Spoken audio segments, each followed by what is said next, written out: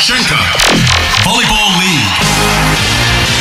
sellel nädalavahetusel Pärnu spordihallis Schenker liiga Final Four. laupäeval selguvad poolfinaalides kaks finalisti, pühapäeval kolmanda koha mäng ja kell kuusteist null null finaal. otseülekanded telekanalis TV6, mängude ajakava Raadio Unos. jälgi mängu. võrkpall on võrratu tõelist terasust toob mängu Ruuki. palli pargib Europark, ette tõstab Kredit kakskümmend neli